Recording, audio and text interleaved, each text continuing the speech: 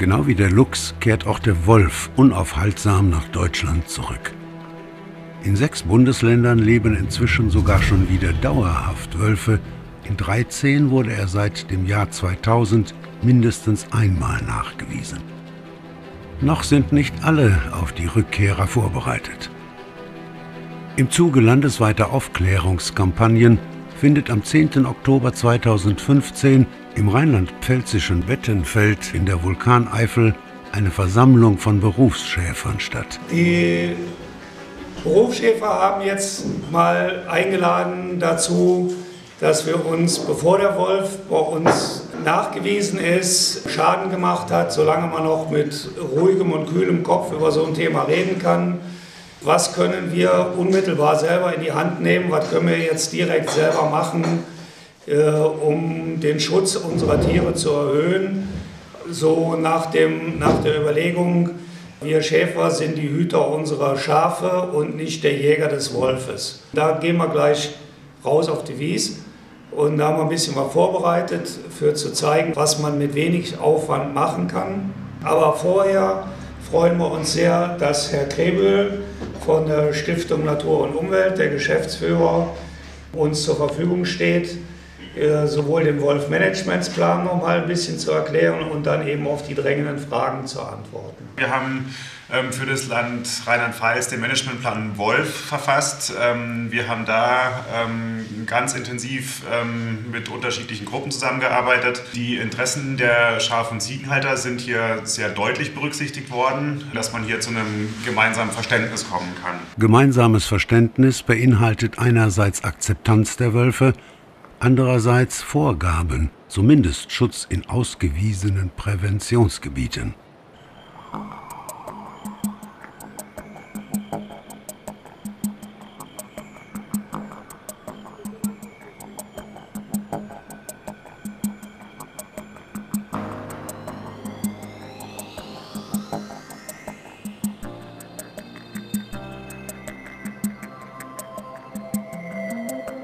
Dieser Beitrag widmet sich dem Schutz durch Elektronetzzäune.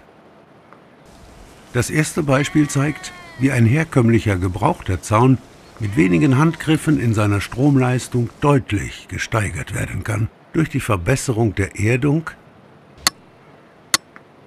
das Überbrücken von Leiterbrüchen. Eine Sache von wenigen Minuten. Das Netz wird davon nicht wie neu aber man muss ein eigentlich noch gut erhaltenes Netz nicht wegschmeißen, nur weil jetzt gerade da schon mal ein Leiterbruch zu sehen ist. Dem Einziehen zusätzlicher senkrechter Stromleiter. Bei den Netzen sind ja nur die Querdrähte stromführend. Wir bauen zusätzliche senkrechte Stromführer ein und gucken dann, ob wir dadurch die Spannung auf dem Netz deutlich verbessert bekommen. Diese deutlich messbaren Verbesserungen bieten erhöhten Schutz gegen Wolfsattacken, vorausgesetzt, die Aufbauschritte werden exakt befolgt. Gerät einrichten, die normale Erdung in den Boden einbringen, Netzkabelverbindung am Zaun herstellen. Plus- und Minuspole an die Batterie anklemmen, Gerät einschalten. Im nächsten Schritt erfolgt die eigentliche Messung, die die Stromspannung am 50-Meter-Zaun an Anfang und Ende sichtbar macht. Das ist ein digitales Messgerät, mit dem wir die Spannung auf dem Zaun messen können. Und zwar wollen wir jetzt verschiedene Messungen machen.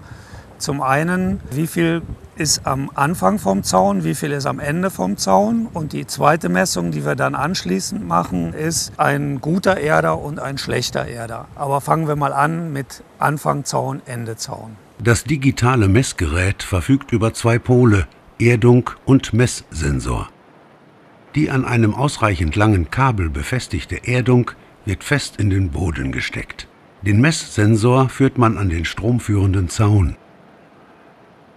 Sobald der Kontakt hergestellt ist, erfolgt die Messung, die auf einem großen Display angezeigt wird. Jetzt zeigt das Messgerät 7,7 Kilovolt an, das sind 7700 Volt. Das ist direkt am Eingang vom Netz. Führen wir den Sensor des Messgerätes an die andere Zaunseite, ergibt sich ein geringerer Spannungswert. Auf dieser Seite zeigt das Messgerät jetzt eine Spannung von 7500.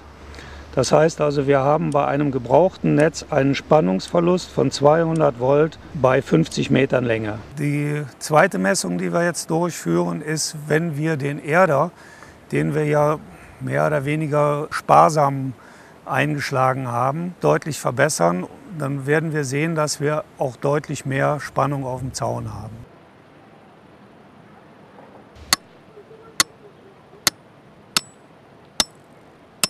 Dieses anschließend mess- und ablesbare Ergebnis ergibt eine deutlich höhere Kilovoltleistung als die vor der Zusatzerdung ermittelte. Wir haben 2000 Volt mehr alleine durch die Tatsache, dass wir den Erder ein bisschen verbessert haben. Wir haben den Zaun nur provisorisch aufgestellt, damit wir die Stromführung zeigen konnten. Wir haben dabei jetzt nicht auf einen sauberen mechanischen Aufbau geachtet. Sowas hier geht natürlich überhaupt nicht. Da kommt jedes Lamm und jeder Wolf und jeder Hund und wer will, kommt da unten drunter durch. Wir müssen dafür Sorge tragen, dass der unterste Draht stramm am Boden anliegt.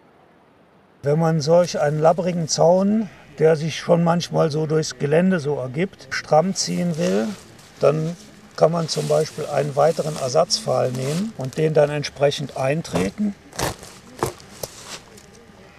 und oben einhängen. Jetzt ist der Zaun natürlich oben immer noch ein bisschen schlabberig. Um den obersten Draht stramm zu bekommen, setzen wir einen Bodenanker ein. Den befestigen wir jetzt oben am Zaun, stecken ihn in den Boden. So kriegen wir den obersten Draht und das gesamte Netz so stramm gespannt, dass es überall gleichmäßig stramm ist. Man sollte jetzt allerdings nicht dem Glauben verfallen, bis hierher alles richtig gemacht zu haben.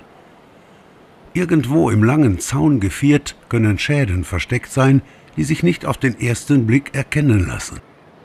Deshalb gilt auch hier die Devise Vertrauen ist gut, Kontrolle ist besser.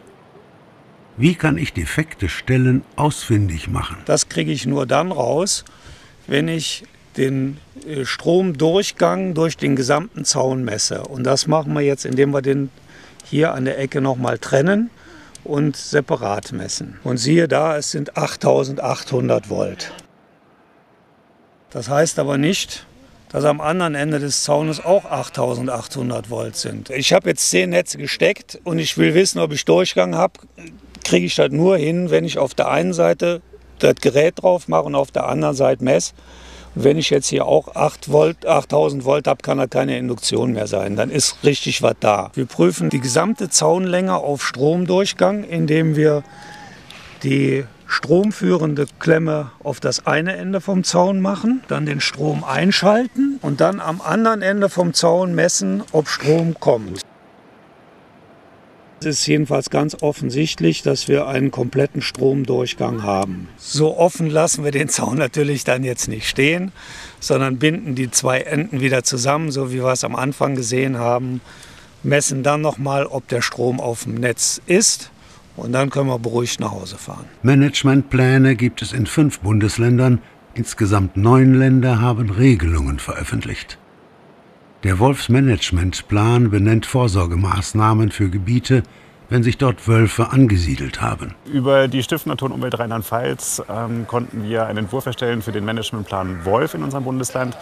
Ähm, dabei haben wir zurückgegriffen auf Erfahrungen aus Bundesländern, wo schon Wölfe ortsansässig sind, ähm, haben uns dort auch informiert ähm, in, über die Auswirkungen auf die Tierhaltung und haben dann in unserem Bundesland in Rheinland-Pfalz gemeinsam mit Interessensgruppen aus der Tierhaltung, Schaf- und Ziegenhalter, gemeinsam mit der Jägerschaft und auch mit den Naturschutzverbänden den Managementplan Wolf für Rheinland-Pfalz entwickelt. So können in Wolfsgebieten zum Beispiel Herdenschutzhunde oder der Bau von Zäunen gefördert werden. Das Land übernimmt dafür 90 Prozent der Kosten. Wir möchten einen Beitrag leisten ähm, für eine, ähm, damit das Zusammenleben zwischen Wölfen und Menschen ähm, erneut erlernt werden kann.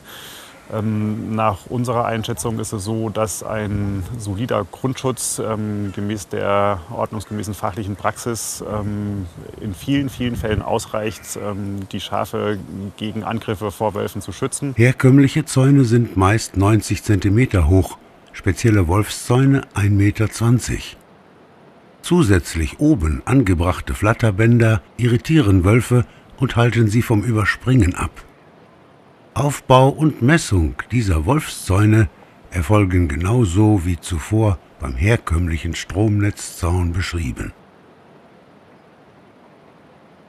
Sollte es vorkommen, dass Wölfe ein Nutztier töten, bekommen die Tierhalter den Wert des Tieres erstattet. Unser Anliegen ist es, dass die Wölfe nicht die Chance haben zu lernen, ähm, dass Schafe eine, ein potenzielles Beutetier sind ähm, und bitten daher auch ähm, um Unterstützung und auch entsprechende Sorgfalt im Zaunbau im Bereich der Schafhaltung.